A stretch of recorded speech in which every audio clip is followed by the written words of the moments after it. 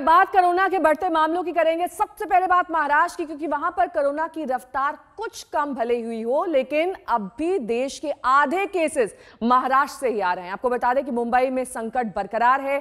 600 से ज़्यादा इमारतों को कोरोना केसेस की वजह से सील किया जा चुका है।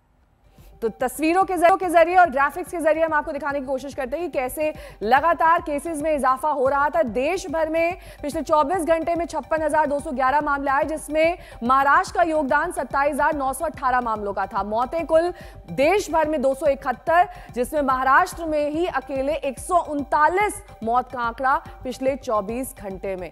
यानी कि आधे केसेस जो है देश भर के वो महाराष्ट्र से ही आ रहे हैं। नए केसेस 27,918 महाराष्ट्र में पिछले 24 घंटे में और मौतें एक एक्टिव केसेस की संख्या तीन लाख चालीस हज़ार पाँच सौ बयालीस।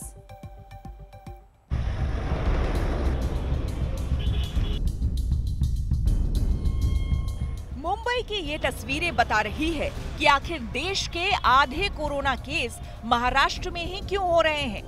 और हर दसवां कोरोना मरीज़ मुंबई का क्यों है? भले ही महाराष्ट्र में कोरोना के केस कुछ कम हुए हैं लेकिन अब भी हज़ारों की तादाद में केस आना बता रहा है कि अभी संकट टला नहीं है। मंगलवार को महाराष्ट्र में 27,918 नए केस आए और एक लोगों की मौत हो गई। डेथ रेट दो फ़ीसदी के करीब जा चुकी है।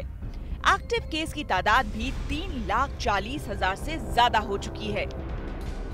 राज्य में केस कुछ कम भले ही हुए हों, लेकिन मुंबई में खतरा लगातार बढ़ रहा है। मुंबई में कोरोना के नए केस चार हज़ार सात सौ अट्ठावन रहे, जबकि 10 लोगों ने दम तोड़ दिया। मुंबई में अब तक 600 इमारतों को कंटेनमेंट जोन के रूप में सील किया जा चुका है।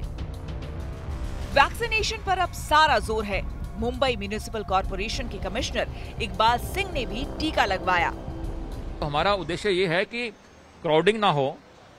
ये जो नाइट क्लब्स हैं रेस्टोरेंट्स हैं बीचेस हैं वहाँ आठ बजे के बाद में मॉल्स हैं वहाँ क्राउडिंग कम करके ये वायरस को कैसे कंट्रोल किया जाए स्प्रेड को 144 के अंतर्गत कोई असेंबली ऑफ़ फाइव और मोर पीपल वो अलाउड नहीं करेंगे बाकी सब अलाउड कर रहे हैं। महाराष्ट्र पर संकट लगातार गहराता जा रहा है।